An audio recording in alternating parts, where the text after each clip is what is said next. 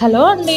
మన లైఫ్లో అమ్మ ఆవకాయ రెండు ఇంపార్టెంట్ మీ ముందుకి కూరదోసకాయ ఆవకాయ రెసిపీ తీసుకొచ్చాను. ఏం లేదండి కూరదోసకాయ టమాటా ఉప్పు కారం క్యారెట్ మెంతి పొడి ఆవ పొడి వేసుకొని కలుపుకొని పక్కన పెట్టుకోవాలి. అది ఊరుతుంది అన్నట్టు తర్వాత పోపు వేసుకొని అందులో కల్లెమాకు పసుపు వేసుకొని కలుపుకున్నాక మనం పక్కన పెట్టుకున్న మిషన్ అందులో కలిపేసేసుకొని పోపు తర్వాత లెమన్ విండాలి అది చూస్తే ఎంత టెంప్టింగ్ ఉందో చూసారు కదండి ఈ ఆవకాయని టూ త్రీ డేస్ వరకు స్టోర్ చేసుకోవచ్చు. వేడివేడి అన్నంలో నెయ్యి ఆవకాయ కలుపుకొని తింటే సూపర్ ఉంటుంది.